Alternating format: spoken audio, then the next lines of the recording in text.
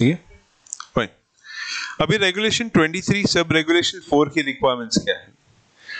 ये बोलता है कि जितने भी मटेरियल रिलेटेड पार्टी ट्रांजैक्शंस हो रहे हैं, ठीक है? That is all material related party transactions.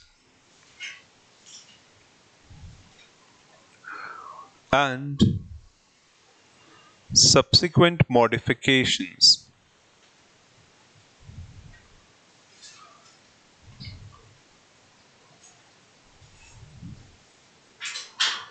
Subsequent modifications as defined by audit committee ठीक है? अब आपको ये बराबर समझ में आएगा कि हाउ मॉडिफिकेशन आर डिफाइंड तो सेल्स मैनेजर से मिलता है डेटा बाद में मिलता है कई बार तो मॉडिफिकेशंस करने पड़ जाते हैं। Shall require shall require prior approval of share holders approval of shareholders through resolution through resolution okay and इतना ही नहीं no related party no related party shall vote to approve the resolution to approve such resolution. Okay? So no related party shall vote to approve such resolution. Whether the entity whether the entity is a related party is a related party to the particular transaction to the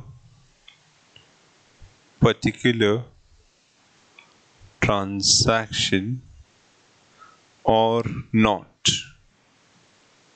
Okay? Or not. So all material related party transaction has to be approved by the shareholders हाँ ठीक है and then आगे बोलता है provided that provided that ये proviso में क्या डाला कि prior approval of shareholders prior approval of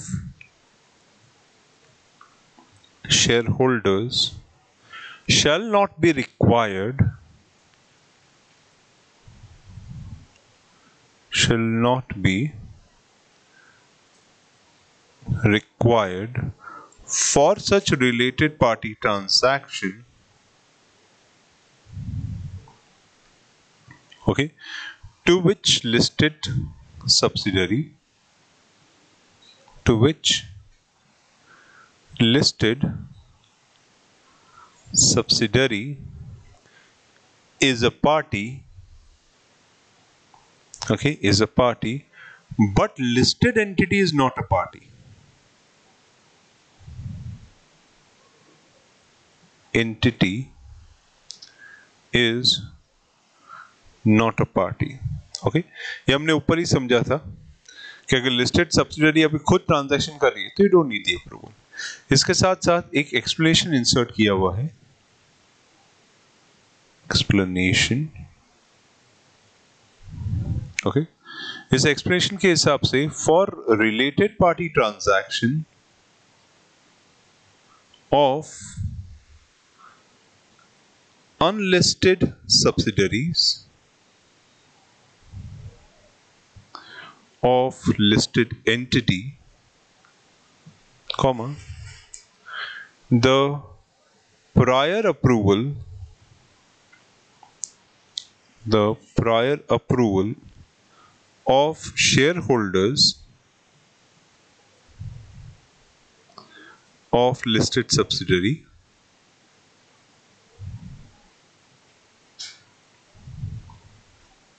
shall suffice.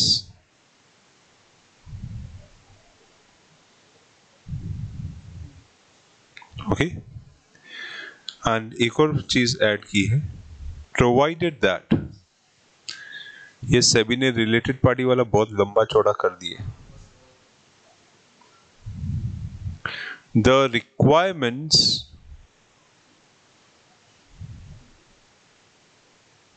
the requirements of above shall not apply okay shall not apply for approval क्या हुआ?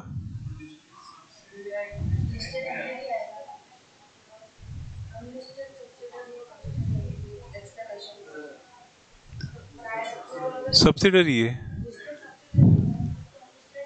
सी ये क्या बोल रहा है कि for a related party of an unlisted subsidiary of a listed entity okay okay? The prior approval of the shareholder of the listed subsidiary shall suffice ये ऐसा बोल रहा है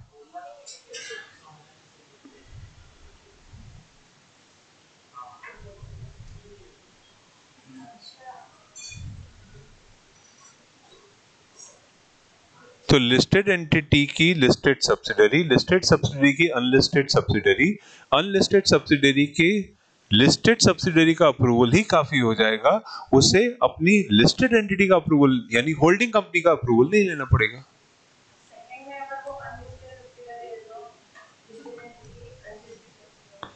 हाँ लिस्टेड एंटिटी लिस्टेड एंटिटी यहाँ पे मतलब लिस्टेड सब्सिडरी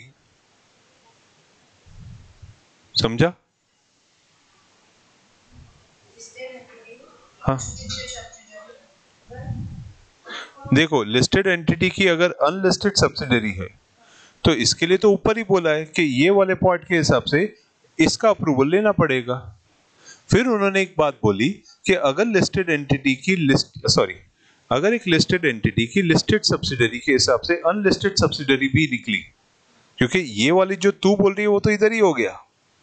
तो इसका अप्रूवल ही अपने आप में काफ़ी है, इसका फिर लेने की ज़रूरत नहीं है। समझा? इसलिए वो एक्सप्लेनेशन में डालना पड़ गया उसको। Explaining the fact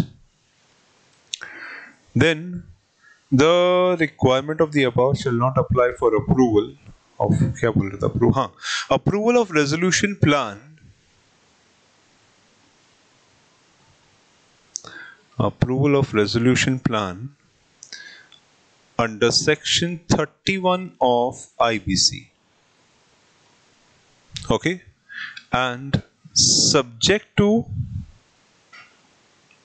subject to its disclosures to stock exchange to stock exchange within one day of resolution plan being approved. Okay, within one day of resolution plan being approved.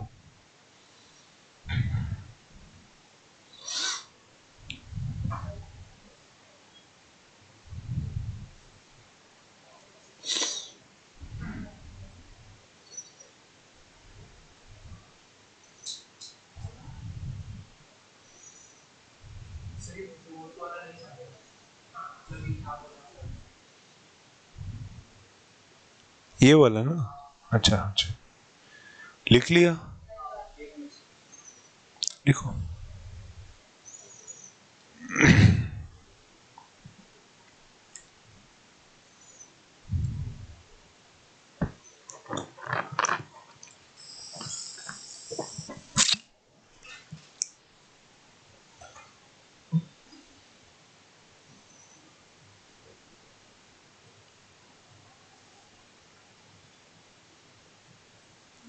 तेरा नाम प्रथमेश है क्या? अच्छा अच्छा।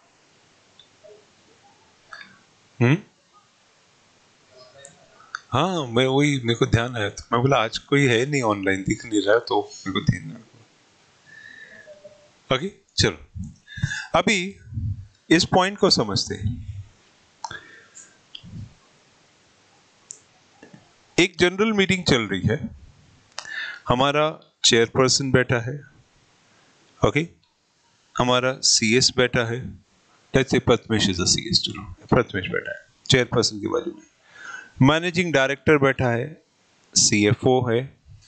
ओके इंडिपेंडेंट डायरेक्टर है। Auditor बैठा है। Etcetera ऐसे पूरे डायस पे काफ़ी सारे जन बैठे हुए हैं। स्टेज बना हुआ है पूरा। इसमें काफ़ी सारे। ठीक है? और स्टेज के सामने काफ़ी सारे शेयर होल्डर्स की सीट्स हैं। ठीक है? सो यहाँ पर शेयर होल्डर्स की सीट्स हैं ठीक है?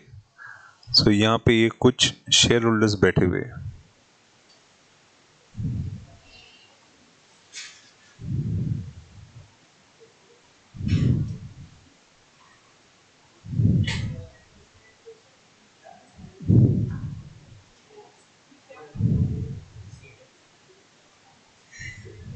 ओके सो इमेजिन काफ़ी सारे शेयर होल्डर्स भी बैठे हुए हैं। ठीक है? अब हुआ ये कि रिलेटेड पार्टी ट्रांजैक्शन का एजेंडा आया। ठीक है? सो रिलेटेड पार्टी का एजेंडा आया। इस एजेंडा के हिसाब से प्रथमेश वहाँ पे स्टेज पे खड़ा होके कुछ लोगों के नाम लेता है। दैट इज़ ये ये ये ये ये। जिसमें यहाँ पर प्रथमेश की वाइफ भी बैठी है। ओके ट्रांजैक्शन एक कंपनी के साथ हो रहा है और प्रथमेश की वाइफ उस कंपनी की एक सब्सटैंशियल शेयर होल्डर है। और प्रथमेश की कंपनी में भी एक शेयर होल्डर है। Clear so she is sitting over here और उसने अपनी वाइफ का भी नाम लिया। ठीक है?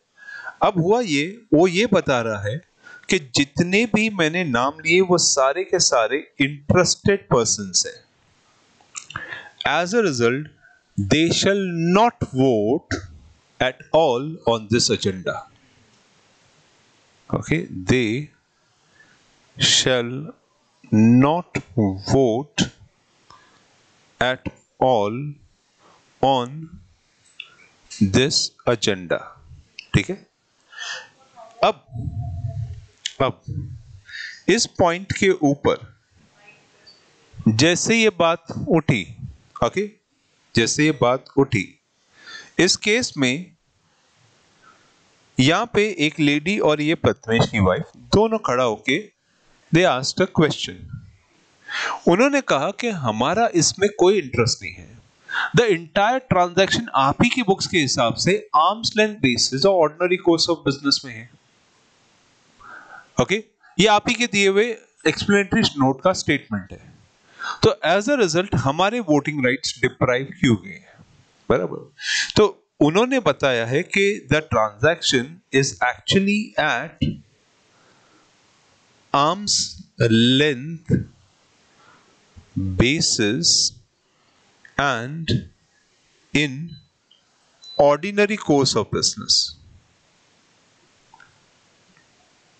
course of business ठीक है सो इस पॉइंट के ऊपर ओके okay, इस पॉइंट के ऊपर चेयरमैन ने प्रथमेश को बोला कि आप रिप्लाई दीजिए so, ने रिप्लाई दिया that respected ladies ये रेगुलेशन 23 का इंप्लीकेशन है। प्रथमेश ने समझाया रेगुलेशन 23 सब रेगुलेशन 4 के हिसाब से पार्टीज़ चाहे उस ट्रांजैक्शन में इंटरेस्टेड हो ना हो चाहे वो ट्रांजैक्शन आर्म्स लेंथ बेसिस या ऑर्डिनरी कोर्स ऑफ़ बिज़नेस में हो अगर आप रिलेटेड पार्टी डिक्लेयर करते गए हो तो आप इस ट्रांजैक्शन पे वोट नहीं करोगे। Okay so then then to they shall not vote on agenda okay where they are related ठीक है? ये पॉइंट हुआ ही था कि प्रथमेश की वाइफ के बाजू में बैठा हुआ आदमी, वो खड़ा होकर बोलता है कि, सर, फिर बताइए हम वोट किस पे करते हैं और किस पे नहीं करते ठीक है? So in that case he explain कि देखिए सर आज एजेंडा आइटम में अगर आपने ध्यान दिया होगा तो there were eight items in that eight जो स्टार्टिंग के फोर होते हैं वन टू थ्री फोर ये हमारे ऑर्डिनरी बिज़नेस में कवर हो जाते हैं। तो इस पे तो सबका ही वोट चलेगा इसमें कोई सवाल कुछ होता नहीं। आज इस बार इनको छोड़ के हमारा फाइव सिक्स सेवन एट ऐसे चार आइटम से बराबर? ये सब के सब हमारे स्पेशल बिज़नेस में कवर हुए थे। क्लियर इस पूरे एजेंडा के अंदर, ये दो दो एजेंडाज हैं, ये रिलेटेड पार्टीज़ में जा रहे हैं, जिसके बारे में डिस्क्लोजर एक्सप्लेनेटरी स्टेटमेंट में कर दिया गया है। बराबर? It is related related to seventh agenda so जो शेयर होल्डर्स के नाम अभी मैंने लिए हैं, वो है सेवेंथ एजेंडा तो वो शेयर होल्डर्स सेवेंथ एजेंडा पे वोट नहीं करेंगे. बस. Shall not vote over here shall not vote ठीक है? फिर जब एट्थ एजेंडा आएगा, मैं वापस से नाम लूँगा. जिनका नाम मैं एट्थ एजेंडा के लिए लूँगा, वो सिर्फ़ एट्थ एजेंडा पे वोट नहीं करेंगे। बाकी ये सब वोट कर सकते हैं। ओके सो यहाँ पे रिलेटेड टू एट्थ एजेंडा। वैसे ये सब ऑलरेडी नोटिस वगैरह में दिया होता है जस्ट आपको बता रहा हूँ। So shall not vote okay clear so his question was relevant फिर ये सारे नाम आपको कैसे मालूम पड़े? और राधर आपको तो चलो मालूम पड़ गए, हमें कैसे मालूम पड़े? तो उसने एक और चीज़ बताई कि, मिस्टर, जब 2021-22 ईयर एंड होता है और हम जब एजीएम कॉल करते हैं okay something like likely to be held by thirtieth September 22 okay? तो उसके लिए हम लोग एक नोटिस इशू करते हैं सर और उस नोटिस में ही हम क्लियरली लिख देते हैं कि कौन कौन रिलेटेड पार्टी है उस एजेंडा के लिए. उस नोटिस में अगर आपने ध्यान दिया हो तो लिखा होता है we have determined we have determined related party shareholders got it तो उसके हिसाब से ही, सर, आपकी वोटिंग नहीं बैठ रही। अब ये बात समझ में आया? क्लियर सबको क्लियर फाइन अब दूसरी बात बताता हूँ। ठीक है? चलो मीटिंग की तो बात हो गई, दूसरी बात। एक लिस्टेड एंटिटी होल्डिंग है। और एक लिस्टेड एंटिटी सब्सिडरी ओके हाँ बोलो, कुछ बोल रहे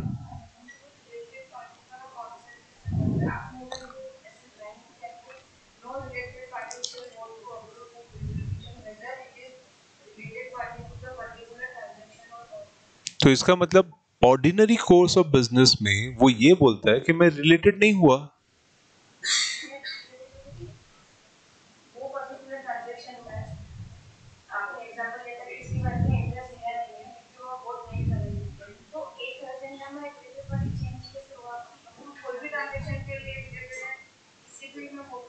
नहीं ऐसा नहीं है। अगर उसकी वाइफ प्रथमेश की वाइफ एट आइटम के लिए रिलेटेड ही नहीं है तो फिर वो उसमें वोट नहीं करेगी। वो कर, वोट कर सकती है। वो सेवेंथ आइटम में रिलेटेड है तो उसमें वोट नहीं करेगी। क्योंकि related party agenda to agenda change हो जाते हैं। ओके हाँ। नहीं। सेवेंथ आइटम में उसका कहना है कि arms length basis ordinary course में है तो मेरा तो इंटरेस्ट ही नहीं है। वेदर शी इज़ इंटरेस्टेड और not she still can not vote अब समझा वो क्या बोल रहा है? तो मैं उसका राइट एट्थ आइटम के लिए डिप्राइव नहीं कर सकता, क्योंकि वो तो उसमें रिलेटेड ही नहीं है। Then she can very well argue clear समझा? And then I have to take care why Prathamesh की वाइफ है। तो he has to take care about it बराबर घर भी तो जाना है। सो so, यहाँ पे होल्डिंग कंपनी है लिस्टेड सब्सिडरी है। अब हुआ यह था कि listed subsidiary is a party to the transaction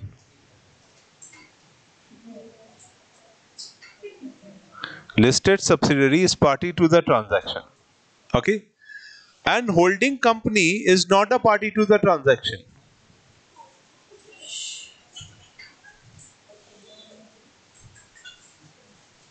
holding company is not a party to the transaction. Listed entity satisfies regulation 23 and 15 too. It has satisfied regulation 23 and regulation 15 requirements. Barabar. Clear? उसके नीचे unlisted subsidiary आती है।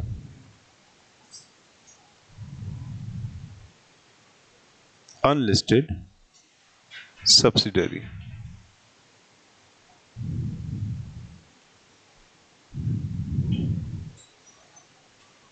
Okay अब मुझे बात बताओ, क्या इस अनलिस्टेड सब्सिडरी की वजह से लिस्टेड सब्सिड एंटिटी जो सब्सिडरी है, क्या उससे अप्रूवल करना पड़ेगा।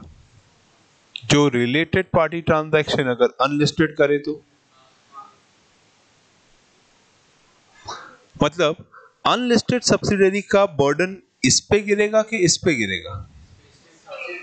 लिस्टेड सब्सिडरी पे। इसका मतलब अनलिस्टेड कंपनी सब्सिडरी का जो भी बर्डन है, वो गिरेगा सॉरी वो गिरेगा still listed entity subsidiary okay अपनी अनलिस्टेड सब्सिडरी की वजह से भी they have to comply with regulation 23 and 15 और 23 क्या है? ये जो, और इमीडिएट वाली को अप्रूवल लेना पड़ता है। So subsidiary shall comply with regulation 23 and regulation 52 मतलब मतलब अनलिस्टेड सब्सिडरी की वजह से अप्रूवल तो करवाना पड़ेगा और कॉर्पोरेट गवर्नेंस में रिपोर्टिंग भी देनी पड़ेगी। क्योंकि listed entity subsidiary is a listed entity समझा? सो so, यहाँ पर ट्रांजैक्शन किसके थ्रू हुआ है? किन के थ्रू हुआ है? अनलिस्टेड सब्सिडरी तो अनलिस्टेड सब्सिडरी को भी लिस्टेड एंटिटी का वो रेगुलेशन लगेगा, इसका मतलब उन्हें अपनी सारी अप्रूवल इनके थ्रू करवानी पड़ेगी। ना कि इनके थ्रू समझ में आया? तो इसका मतलब आरआईएल अगर होल्डिंग कंपनी है, और उसके पीछे रिलायंस पेट्रोलियम लिमिटेड एक सब्सिडरी है उसके नीचे मैं रिलायंस केमिकल लिमिटेड सब्सिडरी डालता हूँ। तो अप्रूवल के लिए अनलिस्टेड के हिसाब से इनका और इनका ट्रांजैक्शन है। आर बोलती है, मेरे को क्यों बीच में डाल रहे हो? समझ में आया? वो प्रोविज़न सेबी का क्या बोलना चाह रहा है? ओके? और इसके बीच में अनलिस्टेड सब्सिडरी यानी Reliance chemical limited Reliance petroleum limited के होने की वजह से इन, इसको अपनी लिस्टेड कंपनी का भी सारा कंप्लायंस अपनी रिपोर्टिंग में लेना पड़ेगा। क्योंकि रेगुलेशन 23 दोनों को कवर करता है। आपकी जितनी भी अनलिस्टेड सब्सिडरी है एंड अगर कोई और सब्सिडरी जिसका मतलब कोई और एंटिटी है तो उसको भी। तो उसके रिलेटेड पार्टी ट्रांजैक्शंस को भी कवर कौन करेगा? सभी क्या बोल रहे हैं? कौन करेगा? Immediate holding immediate listed sorry immediate listed holding company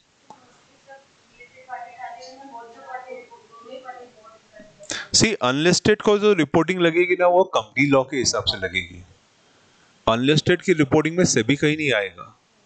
listed entity को अपने रिलेटेड पार्टी ट्रांजेक्शन रिपोर्ट करना है। हाँ कि नहीं? उसके साथ साथ इसका भी रिपोर्ट करना है।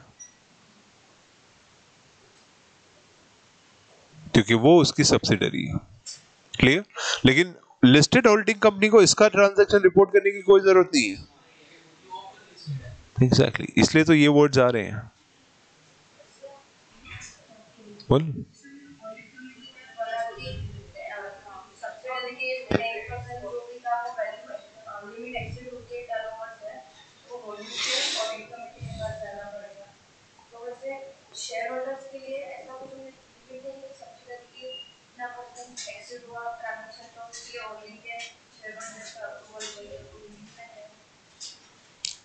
तुम बोल रही हो कि एक ट्रांजैक्शन वैल्यू अब वो ये देखना पड़ता है, आप कौन से नेचर के ट्रांजैक्शन की बात कर रहे हो? अब अगर हमने लिस्टेड सब्सिडरी की बात और इसकी बात करूँ तो मैंने तुम्हें एक पार्ट समझाया रेगुलेशन 24 कि अगर हमारी सब्सिडरी कंपनी का कोई भी 20 परसेंट ज़्यादा का एसेट्स बेचती है तो मुझे होल्डिंग कंपनी के पास जाना पड़ेगा। वो वाले पार्ट में समझाया था मैंने। बराबर? सो लिमिट वहाँ पे है कि ट्रांजैक्शन कौन से नेचर का है? उसके ऊपर है। हर ट्रांजैक्शन के लिए, हर ट्रांजैक्शन के लिए सभी बोलता है रिलेटेड पार्टी है तो तुमको वैसे भी लिस्टेड के पास जाना पड़ेगा। तो वो तो वैसे ही क्लियर हो गया। क्लियर तो ये देखना पड़ेगा ट्रांजैक्शन का नेचर क्या क्योंकि रिलेटेड पार्टी की लिस्ट में भी ट्रांजैक्शन का नेचर आता है। कंपनी लॉ का अलग हो जाता है। सभी बोलता है, हर ट्रांजैक्शन के लिए जाओ। तो जो भी रिलेटेड पार्टी ट्रांजेक्शन अनलिस्टेड का होगा, वो तुम भी रिपोर्ट करो।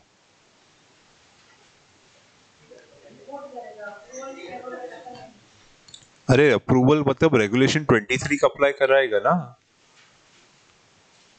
तो रेगुलेशन 23 के अंदर सारा ट्रांजैक्शन जो ऊपर तू लिख चुकी है, वो तो कंप्लाई करेगा कि नहीं? तो उसमें शेयर होल्डर्स या वो सब अप्रूवल लेगा कि नहीं? समझा? क्लियर ठीक है? हम्म।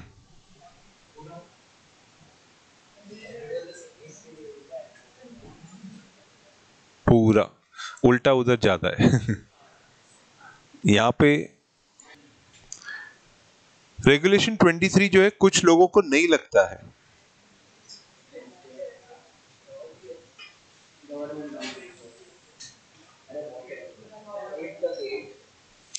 सो रेगुलेशन 23 नहीं लगता है तो पूरी तरह नहीं लगता है, ऐसा नहीं है। टू थ्री एंड फोर सब रेगुलेशन ही नहीं लगते। सो प्रोविज़न ऑफ़ लॉ इस पे ये बोलता है कि provisions of regulation 23 to 23 3 and 23 4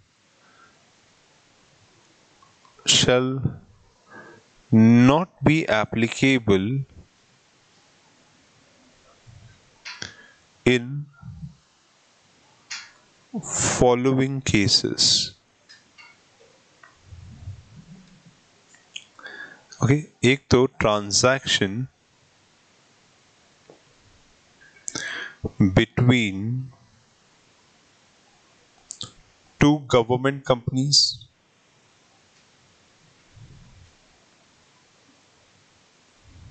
okay and b transaction between holding company and wholly owned subsidiary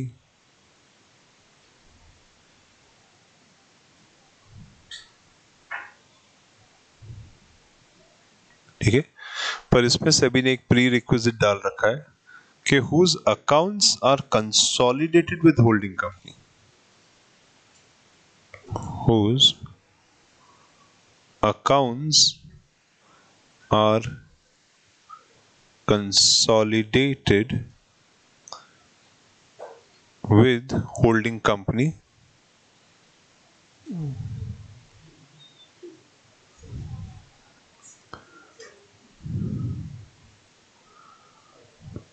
okay. And placed before shareholders at general meeting.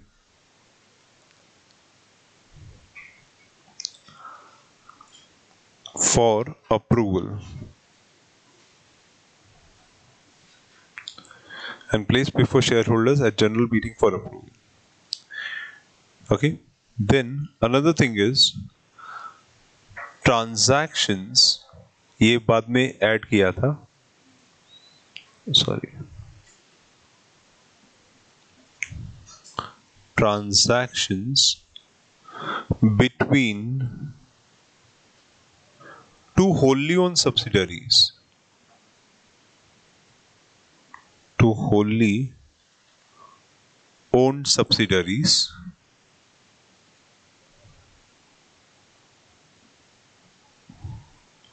of listed holding company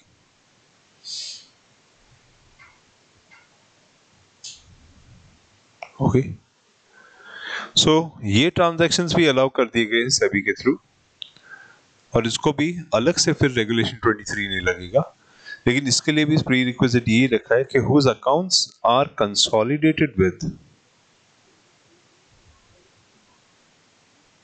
whose accounts are consolidated with so whose accounts are consolidated with holding company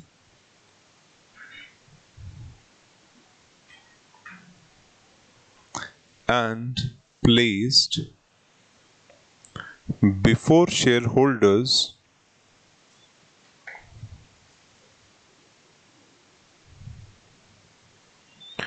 in general meeting for approval.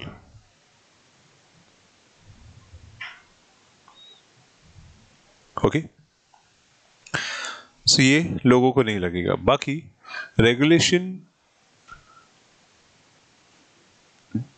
23 sub regulation 6 ये one liner ही है।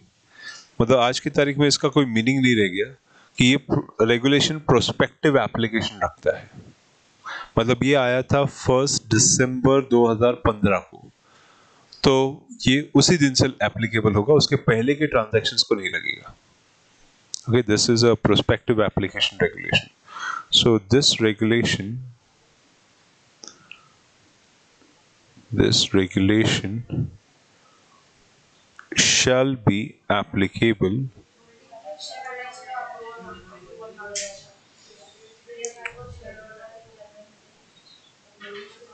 हाँ for applicable क्योंकि होली on subsidiary के अंदर मैं कैसे डालूँगा? उसके तो होली ऑन से मतलब पूरा होल्डिंग ही तो है। तो एप्लीकेबल टू प्रोस्पेक्टिव ट्रांजैक्शंस ठीक है ये आए थे that is related party transaction on or after 1st December 2015 okay okay? और रेगुलेशन 23.7 जो है वो ओमिट कर दिया है। That is omitted from 9th November 2021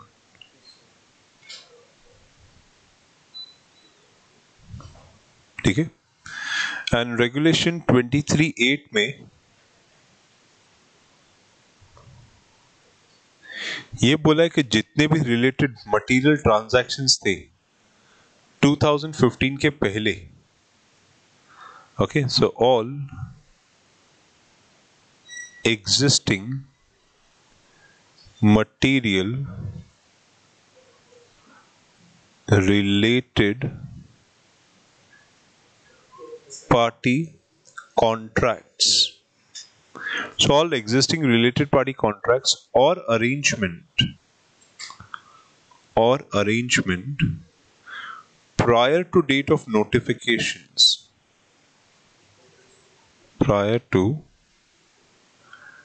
date of notification okay यहाँ पे date of notification that is first of December 2015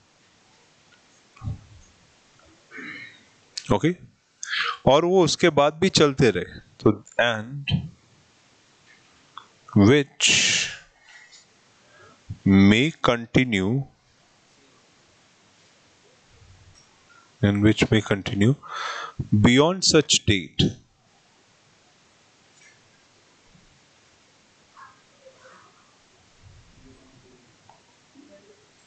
beyond such date okay okay? So SEBI ने एक इंपॉर्टेंट पॉइंट बोला था कि इन सब सारे के ट्रांजैक्शन जनरल मीटिंग में डालो। सबसे पहली जनरल मीटिंग जो उसके बाद होती है। यानी 2015 के बाद जो सबसे पहली जनरल मीटिंग आएगी, उसमें सब शेयर होल्डर्स को बताओ, ये सारे ट्रांजेक्शन हो रहे हैं। ओके ये रेगुलेशन आने के बाद। So shall be placed shall be placed before share shareholders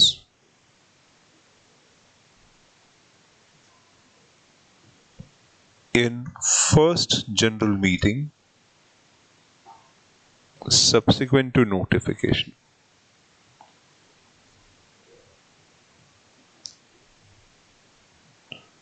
ठीक है? सो आज के तारीख में ये सिर्फ़ एक प्रोविज़न बन के रह गया और कुछ नहीं। बिकॉज़ 2015 के बाद इसका कंप्लायंस ऑलरेडी खत्म हो गया ठीक है? और फिर सभी ने एक नया एंगल शुरू किया था। जिसका इम्प्लीकेशन देखते हुए सभी ने फिर ये रेगुलेशन 23 सब रेगुलेशन 9 को इंसर्ट किया था ओके okay? क्या सभी ने बोला कि the listed entity shall submit to stock exchange shall submit to stock exchange the disclosures of related parties. The related party transactions. Disclosures. In format prescribed by SEBI. In format prescribed by SEBI.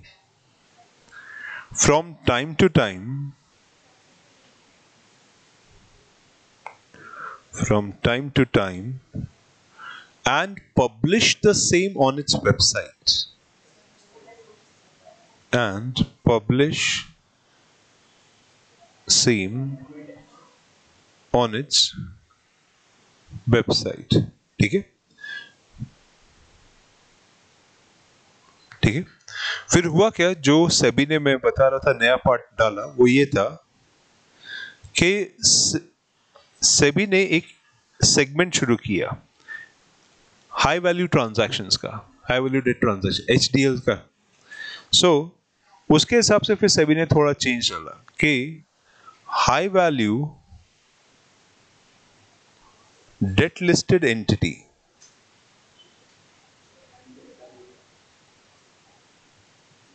that is called as HDL okay shall submit such disclosures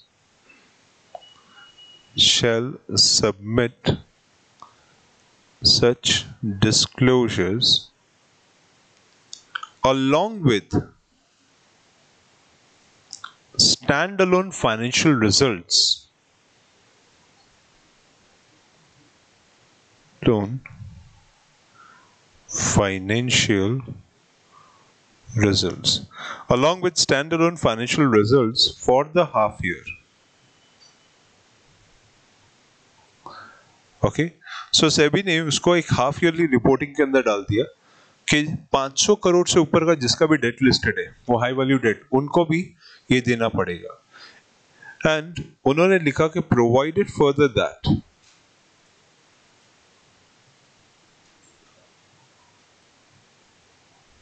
okay? अब सभी ने इस चीज़ की reporting के हिसाब से छह महीने का टाइम डाल दिया है जनरली कि पहले ये इतना मैंडेटरी नहीं था, पर अब मैंडेटरी कर दिया so listed entity shall make disclosures make disclosures every six months every six months within fifteen days from the date of publication,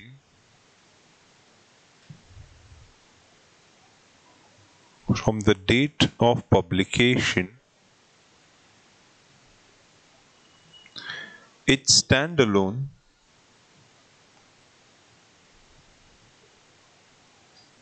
and consolidated financial results.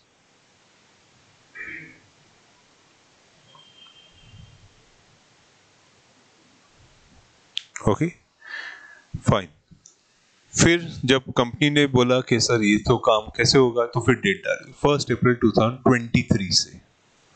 So this will be with effect from first April 2023 okay क्योंकि आप suddenly बोल, उठ के बोलो कि आपको disclosures करना है तो ये भारी पड़ जाएगा। सो देन सेबी ने बोला, ठीक है। So this was as amended on 9th November 2021 ठीक है? वैसे 2022 का भी अमेंडमेंट ले लिया था मैंने 8 8 अप्रैल 22 का।